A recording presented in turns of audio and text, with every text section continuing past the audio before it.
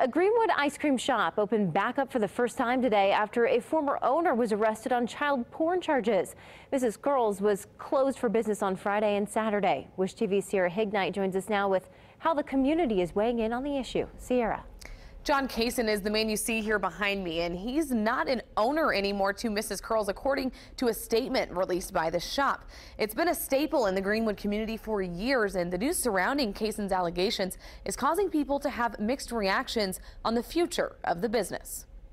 Despite a cold and rainy day, people still lined up for ice cream. It's not so much ice cream. Around this time, so April 5th, um, nine years ago, me and my husband had our first date. And so that's what's important to us. I don't agree with the owner's choices and everything that's going on, but to us, it's a special place. It's where we had our first date, so it's, it's not really fair for, I'm not going to allow him to take that away from us. Even though business was steady on Sunday, some posted on Wish TV's Facebook to say the allegations against Casson are causing them to satisfy their sweet tooth somewhere else. It's unfortunate, obviously, very disgusting actions, um, but he's going to, it's a actions of an individual um, that are going to be dealt with. Um, you know, you can't really try to punish, you know, everybody. You know, when you boycott a business, everybody gets affected, not just the owner. In a Facebook post that has since been deleted, Mrs. Curl released a statement that said in part, We sincerely apologize and acknowledge everyone's concerns. Our priority is the welfare of our employees and customers.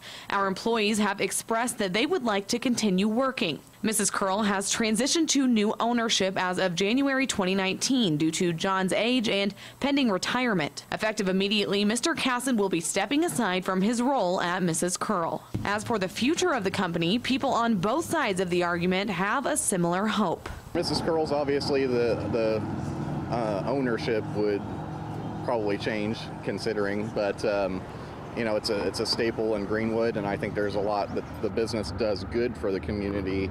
You know, even despite the actions of, like I said, a single individual. We tried to confirm who the new owners are of Mrs. Curl, and we weren't able to confirm whether or not the shop is now solely owned by the two people who shared ownership with Kaysen originally. Sierra Hignite, Wish TV, News 8.